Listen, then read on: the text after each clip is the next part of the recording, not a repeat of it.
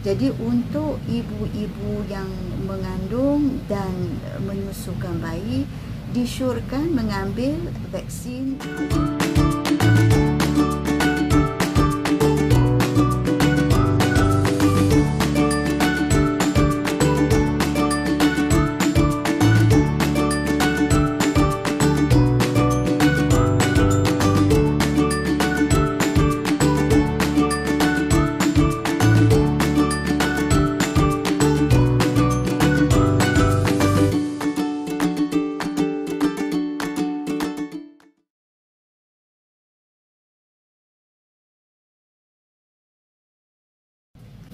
Assalamualaikum, salam sejahtera. Saya Dr. Rosita binti Ramli, uh, pakar perbidanan dan sakit puan dari Hospital Pantai Pulau Pinang. Uh, ingin berbincang uh, mengenai pengambilan vaksin COVID-19 untuk para ibu yang mengandung dan mereka-mereka yang yang menyusukan uh, bayi-bayi mereka. Um, Okey, sekarang jadi soalan yang biasa uh, di ditanya ialah adakah vaksin yang uh, apakah vaksin yang ada sekarang? Jadi di Malaysia kita bincang vaksin yang ada di Malaysia lah. Vaksin yang di apa yang disyorkan oleh Kementerian Kesihatan adalah Pfizer uh, dari Pfizer, uh, vaksin AstraZeneca dan juga um, CoronaVac uh, daripada China. So uh, antara ketiga-tiga vaksinnya yang pertama AstraZeneca dan Pfizer adalah mRNA vaksin. Jadi untuk ibu-ibu yang mengandung dan menyusukan bayi disyorkan mengambil vaksin Pfizer. Uh, pada asalnya dulu uh, semasa vaksin ni baru diluluskan untuk digunakan uh, disebabkan oleh uh, uh, keselamatan safety profile belum diketahui. Jadi ibu-ibu yang mengandung tidak dinasihatkan mengambil uh, vaksin Pfizer. Tapi apabila kita dapat lebih maklumat daripada mereka-mereka yang mengambil uh, vaksin-vaksin ini um, di mana uh, setelah uh, seramai lebih kurang 100 lebih daripada 100 ribu uh, ibu yang hamil telah mengambil dan data-data yang di diambil daripada uh, maklumat yang dapat daripada ibu mengandung didapati vaksin ini adalah selamat. Um, ibu-ibu yang mengambil vaksin ini akan menghasilkan antibody yang akan uh, sampai kepada bayi yang dikandungi dan melindungi uh, kandungan mereka. Jadi actually dia menyelamatkan atau melindungi dua nyawa. Uh, ibu yang mengandung dan bayi yang dikandungi. Untuk mereka yang menyusukan badan, vaksin yang dihasilkan akan juga menghasilkan antibody yang akan sampai kepada uh, bayi yang uh, disusukan uh, melalui susu jadi bayi itu pun akan dilindungi uh, selagi dia um, terus menyusukan uh, uh, mendapatkan susu daripada ibunya. Um, jadi kita kata uh, vaksin yang boleh puan-puan ambil ialah Pfizer. Okey. Uh, ada apa-apa persediaan ataupun kelainan um, semasa nak mengambil vaksin? Tak ada persediaan macam biasa tak payah puasa make sure uh, pergi bersarapan sebab kadang-kadang di pusat vaksin tu kena tunggu sedikit.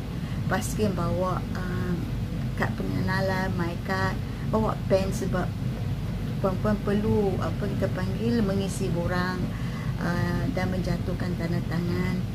Uh, dan seterusnya kita kata vaksin tu kan dibagi uh, diberi dan uh, temu janji yang berikutnya untuk dos yang kedua Uh, daripada kajian yang dilakukan pada ibu yang mengandung didapati uh, antibody dihasilkan seawal 2 minggu daripada dos pertama uh, pada kadar yang dapat melindungi uh, ibu yang mengandung selepas yang dos yang kedua antibody yang dihasilkan adalah pada kadar yang lebih tinggi. Uh, jadi sebab itu bila kita tahu uh, apa kita panggil uh, kita dapat pengetahuan daripada kajian dan maklumat ni ibu-ibu memang disarankan supaya tidak menangguh supaya mendaftar dengan segera dan sekiranya uh, dapat temu janji terus mendapatkan vaksin tidak mengira berapa minggu kehamilan sebab sama ada dalam first trimester, second atau third uh, boleh dapatkan vaksin.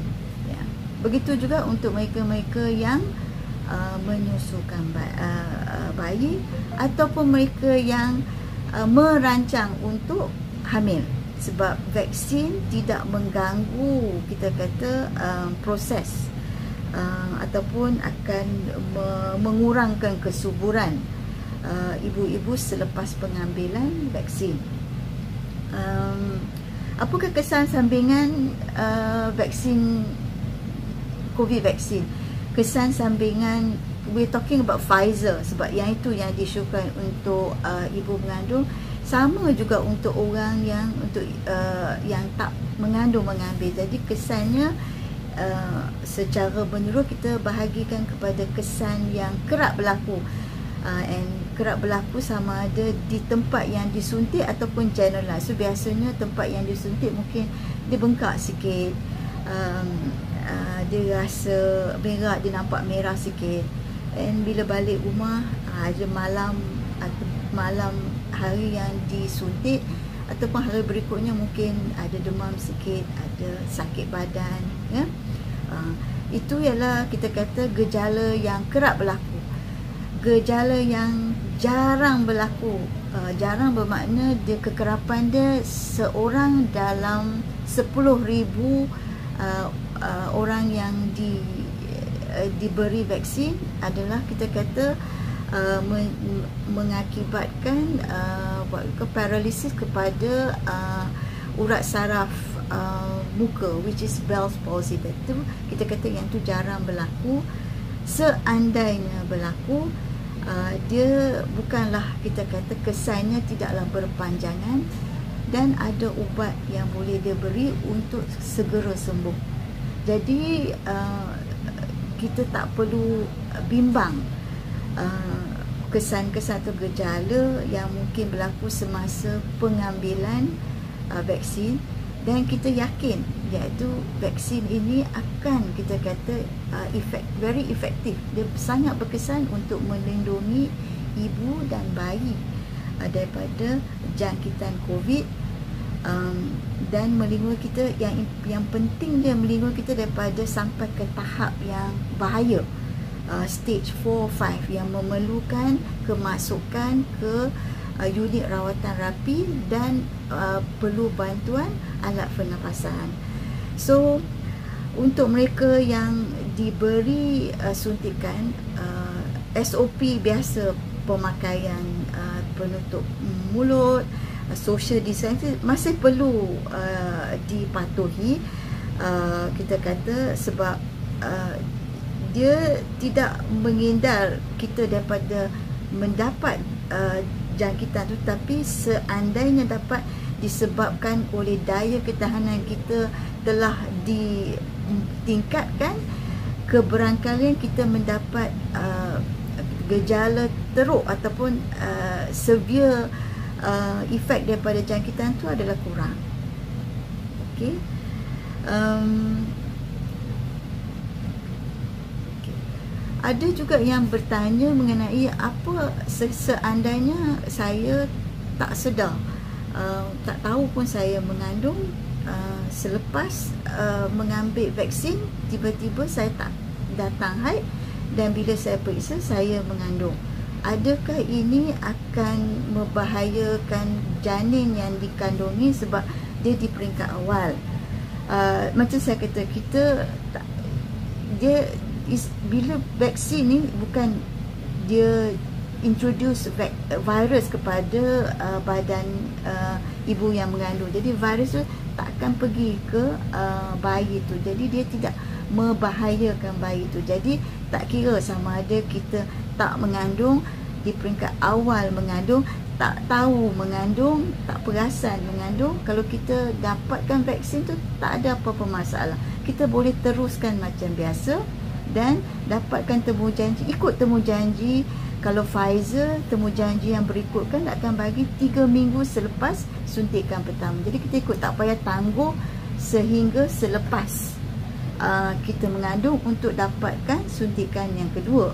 Sebab suntikan yang kedua yang tiga minggu tu akan uh, menghasilkan antibody yang lebih tinggi. Jadi akan lagi melindungi kita daripada kita tangguh dan dapatkan dia selepas kita uh, bersalin ataupun uh, menyusu uh, lepas kita menyusukan bayi kita. Okey uh, seperti yang saya bincangkan jadi um, perlindungan dipindah boleh dipindahkan kepada bayi yang kita uh, susukan. Jadi tak tak ada um, apa-apa masalah kalau kita uh, mengambil vaksin dan menyusukan badan. Tak perlu orang kata buang vaksin tu sebab ha, jadi tak perlu. Macam biasa ambil vaksin kita menyusukan macam biasa. Juga vaksin ni tak ada efek untuk orang yang uh, plan. Macam untuk IVF um, treatment tak tak cuma uh, tarikh dia nak buat uh, procedure tu dengan tarikh vaksin pengambilan tu kita plan betul-betul supaya tak tak dekat sangat lah.